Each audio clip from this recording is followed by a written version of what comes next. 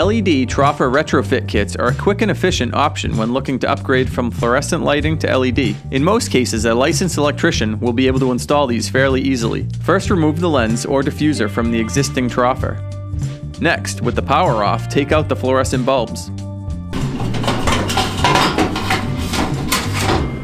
Access the ballasts, and those will be removed from the fixture along with the tombstones on each end.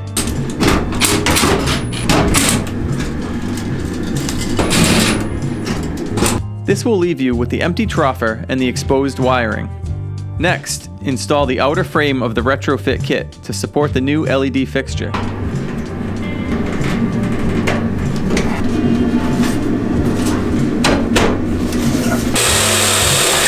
Place the provided sticker on the existing troffer that states that this fixture has been modified.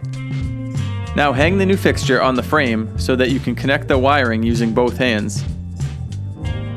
Be sure to attach the backup support hangers that are mounted on the new LED fixture.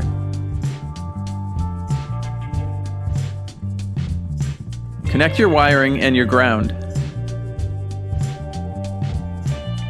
Flip the fixture up until it clips securely into place. Turn the power back on and check that the new LED fixture is working properly.